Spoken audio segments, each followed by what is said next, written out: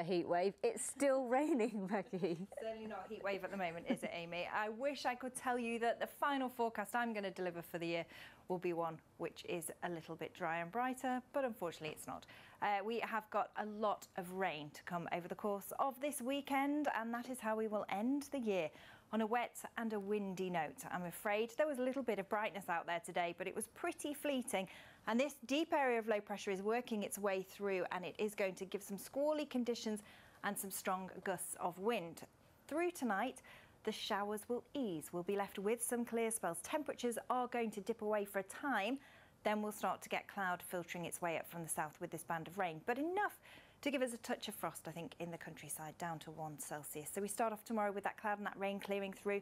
Behind that, we will get a lull, maybe some bright spells, but then we get this squally cold front working its way through. Strong gusts of wind along it and some heavy downpours. Temperatures 9 to 12 Celsius. If we skip forward to New Year's Eve, we'll see that clearing out of the way.